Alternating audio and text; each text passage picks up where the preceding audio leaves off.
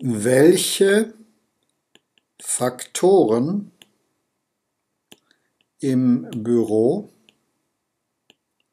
bestimmen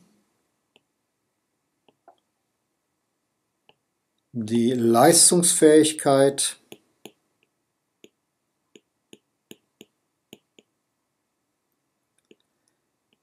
der menschlichen Arbeit.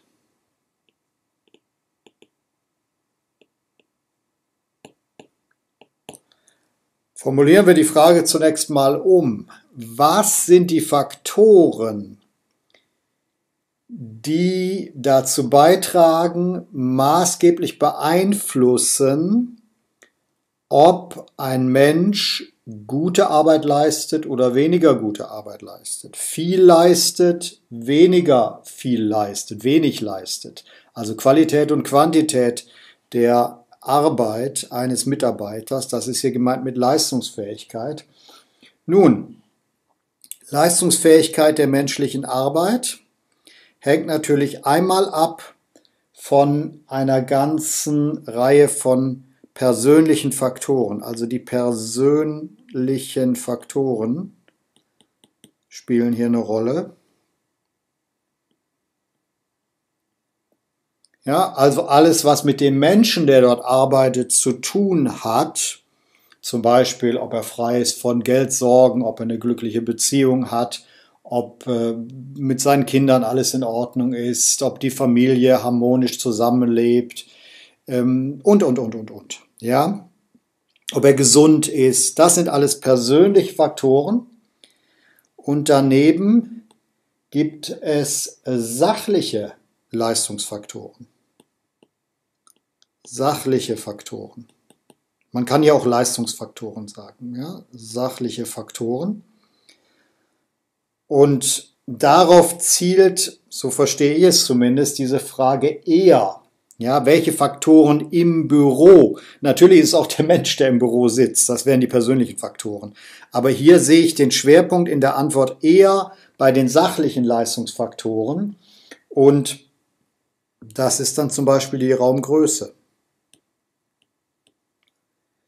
Dann das Raumklima.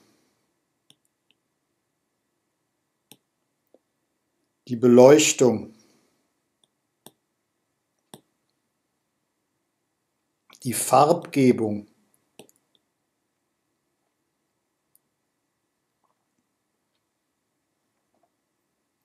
der Lärm oder die Lärmeinwirkung und die Arbeitsplatzanordnung.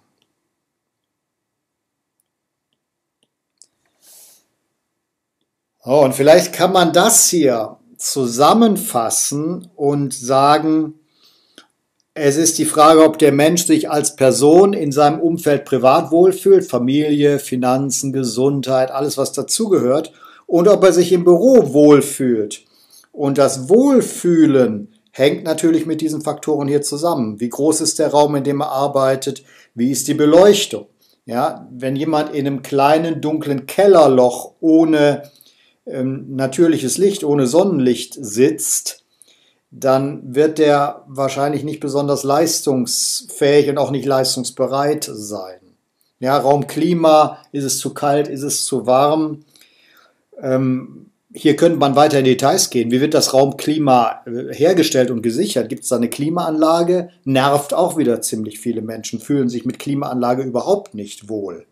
Ja, und, und, und, und, und. Und man könnte hier im Prinzip noch einen weiteren dritten Bereich aufmachen.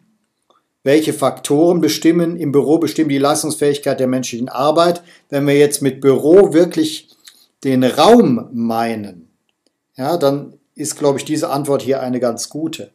Wenn wir mit Büro allgemeiner den Arbeitsplatz, die Arbeitsatmosphäre generell meinen, dann könnte man hier durchaus noch aufführen, zum Beispiel der Vorgesetzte.